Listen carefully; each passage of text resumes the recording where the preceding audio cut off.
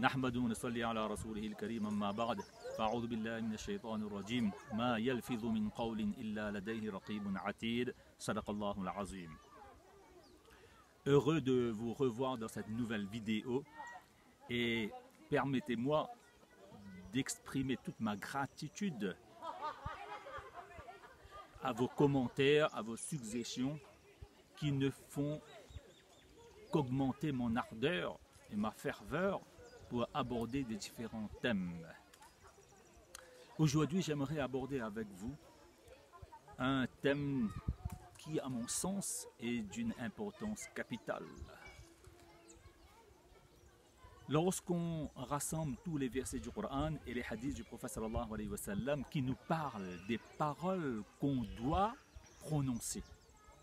Dernièrement, dans une vidéo, on avait vu que pour être mature, responsable et adulte, il faut faire ce qu'on doit faire et non pas ce qu'on veut faire, ce qu'on a envie de faire, ce qu'on aimerait faire.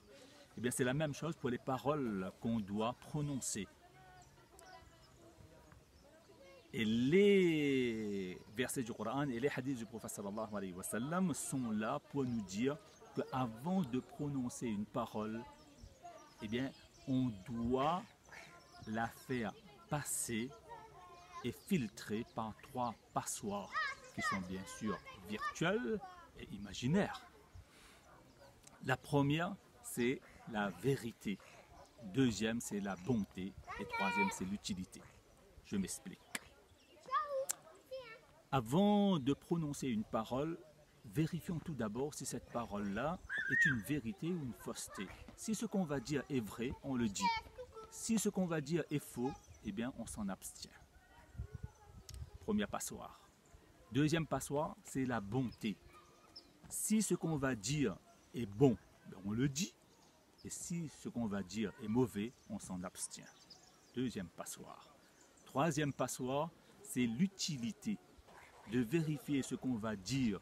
Si ce qu'on va dire est utile, on le dit. Si ce qu'on va dire est futile ou inutile, eh bien, on s'en abstient. Voilà donc le résumé de tous les versets du Coran et des hadiths concernant ce thème.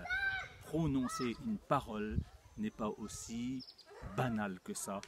Qu'Allah ta'ala accorde à chacun d'entre nous le tawfiq à partir d'aujourd'hui de placer ces trois passoires-là pour filtrer toute parole qu'on prononce. Rabbil alamin.